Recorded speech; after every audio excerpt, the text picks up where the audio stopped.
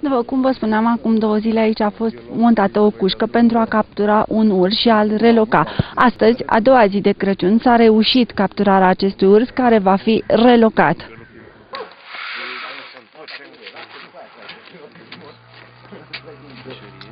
de la dintre voi, de unde Gaboana, dreapta și mai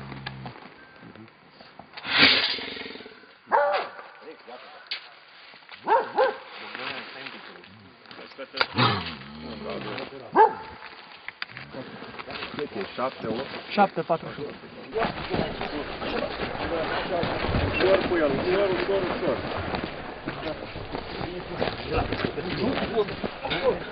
Băgat și aia pe lasă.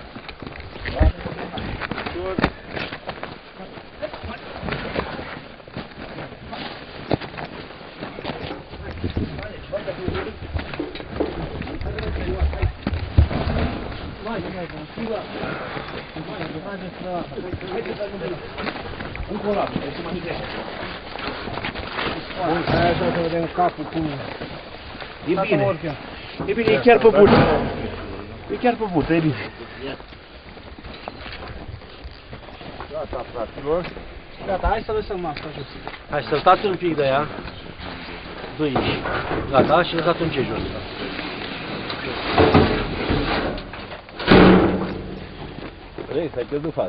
Un exemplar mascul, uh, se pare n-a intrat încă în somnul de iarnă, din cauza temperaturilor nu prea scăzute și uh, se pare că, din câte am fost informați, făcea, să zicem, probleme uh, turiștilor, în sensul că, mă rog, unii se speriau, alții nu se speriau și a trebuit uh, capturat și relocat într-o zonă unde turismul nu e atât de dezvoltat.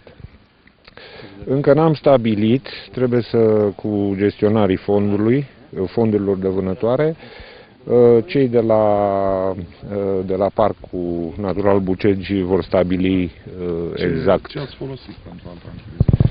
Uh, substanțe uh, tranquilizante uh, de obicei nu prea se mm, dau, adică se dea ca denumire. Da, sunt substanțe uh, nu periculoase pentru animal, cu indice terapeut, terapeutic ridicat, respectiv uh, uh, și pentru animal și pentru operator uh, sunt substanțe sigure ce nu pun viața nici a animalului, nici a operatorului. Când va, va fi tranquilizat, va fi sub Păi în jur de două ore și jumătate va fi tranquilizat. Sigur că se va trezi pe parcurs, e asigurat într-o cușcă uh, propice și nu vor fi probleme. numele și funcția dumneavoastră. Uh, Sârbu George, Institutul de Cercetări și Amenajer uh, Silvice Brașov.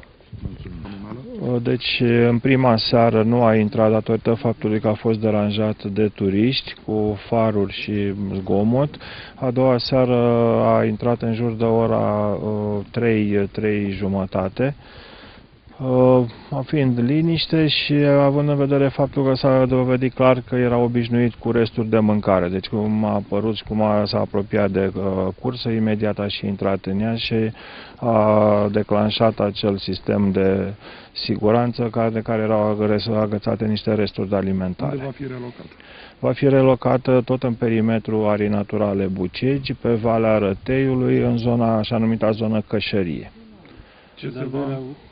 Poftiți? Veți muta acusca și acolo? Deci va trebui să analizăm care este situația uh, lui să, și în funcție de constatările făcute îl vom reloca și pe acela.